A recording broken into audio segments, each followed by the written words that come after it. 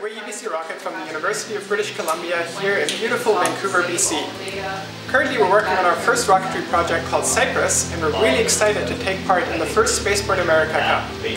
Let's take a look at what some of our sub-teams have been up to working on our first rocket. The payloads team is working on three separate one-unit CubeSats, each with an individual purpose.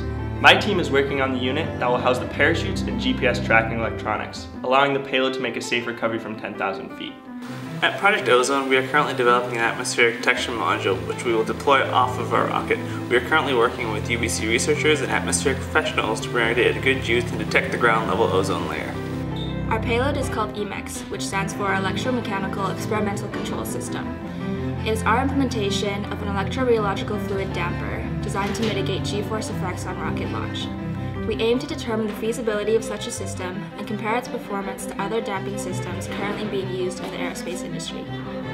In recovery, we're in charge of the deployment of the payload and the safe descent of our rocket. We're doing this by using a dual deployment system in which we have designed, developed, and manufactured the parachutes in-house. Our biggest challenge is probably system integration. So deployment is very like chaotic, unpredictable event uh, where the rocket has to split apart, parachutes have to release, and all this in a couple seconds. So definitely getting everything to fit together in those like really critical couple seconds of deployment is like our biggest challenge here. Avionics is a team that designs a control system that basically keeps a rocket from plummeting to the ground. Um, we use pressure data and acceleration data to determine the altitude at which we should fire off ignition signals to deploy the parachutes as well as our payloads. The most exciting part of all this is setting off the controlled explosions mid-air. The most challenging part is getting the timing of those explosions exactly right. Three, two, one.